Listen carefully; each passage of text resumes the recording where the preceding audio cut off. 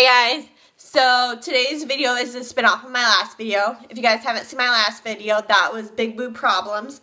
This video is Big Boob Problems Bra Edition, which today I'm going to show you bras that I have found that actually work for me. Um, like I said, my chest is very large, but my body is not very large. My bra size is a 32 triple D, so it is kind of hard for me to find bras like in a normal store like Target, Walmart, anything like that. Um, I literally have to go to Victoria's Secret. There are a lot of online places that I can order bras, but I haven't got the guts enough to do that. So today I'm going to show you my collection of bras where it's regular bras or even sports bras. So let's get into it. So today's first bra um, are is this one. It's just kind of this like off purple, which it kind of looks nude on the screen, but it's like a light lilac purple, I would say. Um, I really like the bras. Now, this one is kind of plain, which, I mean, it's really hard to find bras in my size because they're considered like a plus size because it's a triple D. So there's that. Um, my first one is my neck, not my first one, my next one is this one. It is kind of like a pinky corally color lace, which is really adorable. And then I have this one that's kind of that same purple as my first one, but it has like these, um, like a, I don't like a light green with some rhinestones and stuff like that. That's all sparkly.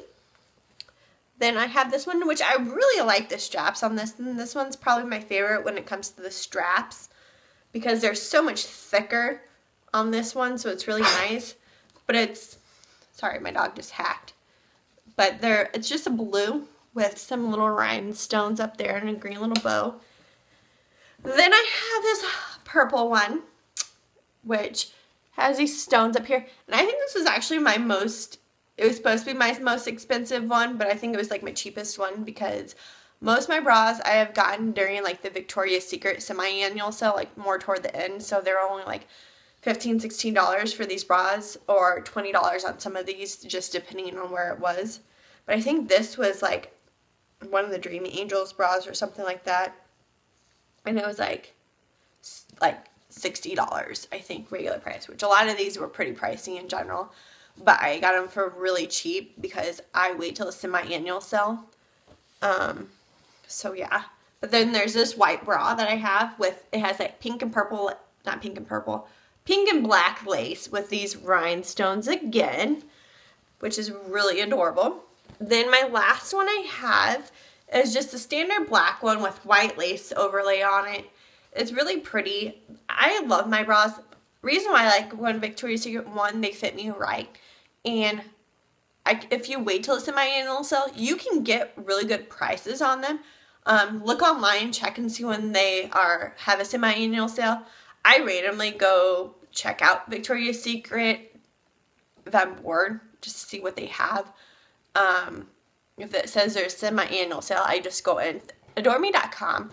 They have bra and panty sets. So your first set is $19.99 and then after that, you pay, depending on what set you get, $39.99, $49.99. I think there's even like a $59.99, depending on what you get. Now, they have bathing suits, like corsets, bathing, or not bathing suits, um, bra set, bra panty sets, that kind of stuff. So they have a wide selection. So if you are looking for stuff like that, there's adoreme.com.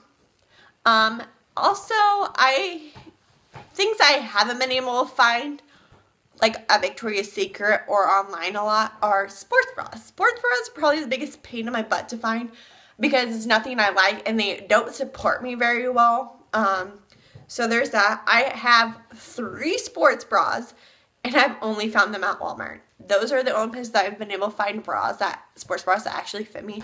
Now a lot of the time I still do wear a regular bra underneath if I know I'm gonna do like heavy workout, if I'm going to do, if I know I'm going to do cardio and I need extra support, I do wear a regular bra underneath plus my sports bra. But this is my sports bra collection. I have this one, which is blue. I have a pink one that matches it. I also have a gray one, but I think it's in the wash or something like that. Now, what I like about these sports bras are they're kind of like like the sweat-proof material, if that makes sense. And they also have like these little foam, at foam, like little like bra padding on the inside that you can actually take out when you wash them. Or you can wash it within and whatever.